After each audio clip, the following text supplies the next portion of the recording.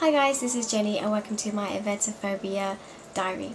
Today I'm going to be telling you a little bit about what I've covered so far, um, my experiences and talking to you about chapters 9, 10 and 11.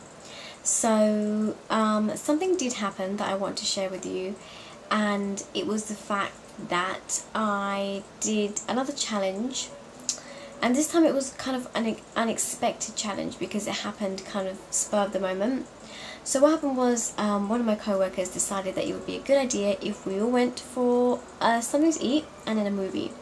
And we went that day, and we planned it that day and um, I thought it would be a really good idea to go along because um, I just wanted to challenge myself in a situation that I couldn't really control at that time because it was so spur of the moment. So I went and um, the meal was fine, absolutely fine. And um, when I got into the cinema, I was actually feeling okay.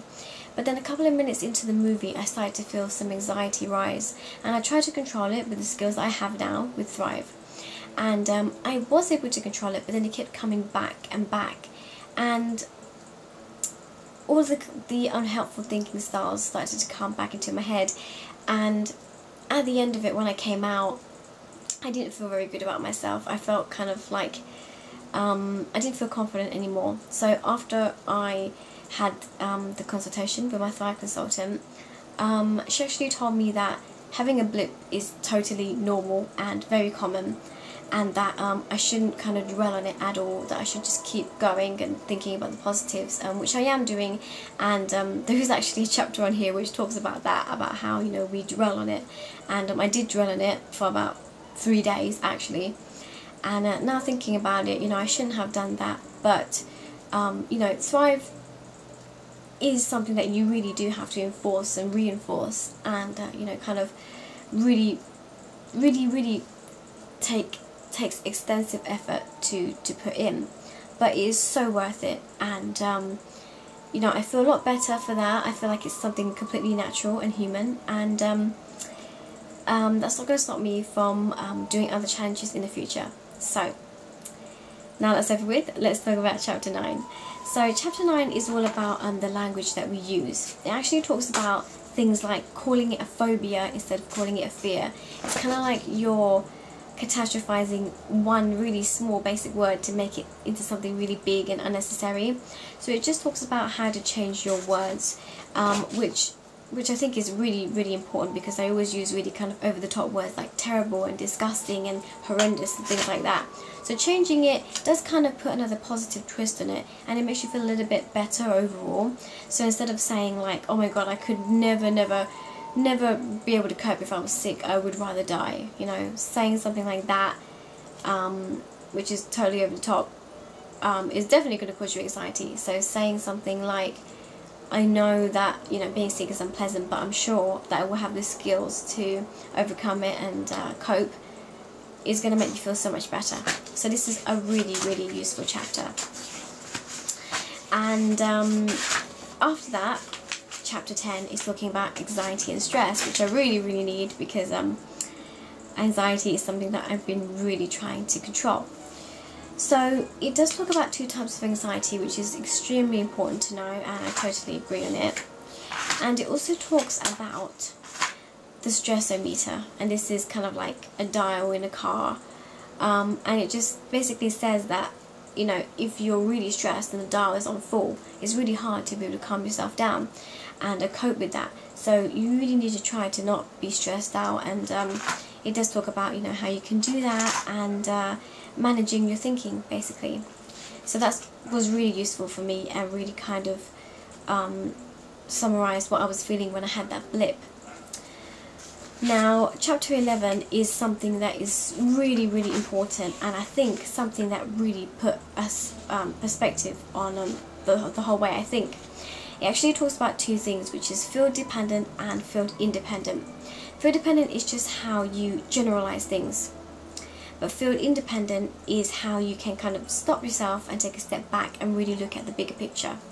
So that is so important and um, one of the examples that it kind of brings up in the book is the Stockdale paradox. And this is so important and I really wish that um, you could read all of it but it just talks about a man who kind of coped with being in a in a in a prisoner camp. And um, this this paradox, or in other words, this kind of this kind of way of thinking, um, is very similar to what I kind of made for myself, and that is the fact that I'm a big Lord of the Rings fan. So um, as you can see, um, I have um, the the elven leaf that um, Elrond, the elf, nobody's going to know what I'm talking about if you don't actually understand or have seen the movies or read the books, but he gave this to each of the fellowship, including Frodo. And um, the reason why I bought it and, I'm wearing it is because in the movie, Frodo um, has has the one ring. He he's he's got this one ring, um, the ring of all power, and it's been brought upon him. He didn't want it to happen. He wished it never came to him, kind of like emetophobia.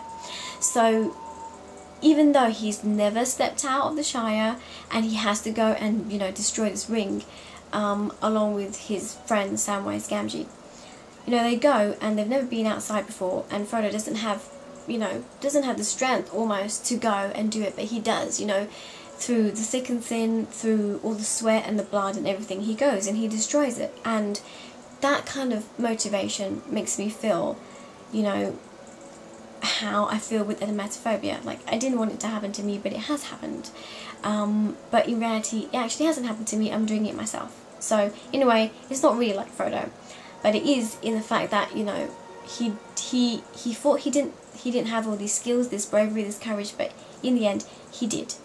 And uh, Samwise Gamgee was like his motivation, his encouragement, and that's what I'm going to be for myself. So um, I will call it the Frodo and Sam paradox for myself. So I think it's really useful if you have some kind of thing that you can imagine um, that will help you, something that you're really passionate about that can help you, um, you know, understand more about yourself and understand how you can overcome this and be powerful. So like I said, this is an extremely and extremely good chapter and uh, not only does it talk about the Stockdale paradox, but it also talks about um, you know, going into kind of deeper subjects uh, like significant others and also, you know, about um, cycles of behavior that you might have and um, kind of breaking down uh, things for you to see.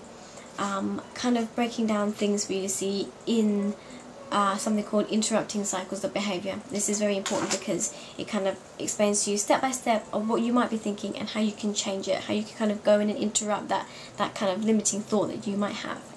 So this is really good and um, what I've also been talking to my thrive consultant about is um, one of the things that I really want to challenge myself on is actually going up a mountain kind of like Frodo and um, I've always been scared of going up a mountain because you know the roads are really winding and where I live in Chiang Mai in Thailand um, it's just full of mountains and I've never been up there even though it's you know beautiful and everybody's raving about it because I'm, I'm scared I'm going to be sick.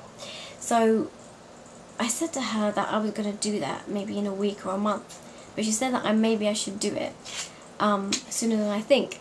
So I think I might do it. I just might do it. I'm going to have to see. But if I do I'll tell you about it next week. So looking forward to talking to you next week Bye guys.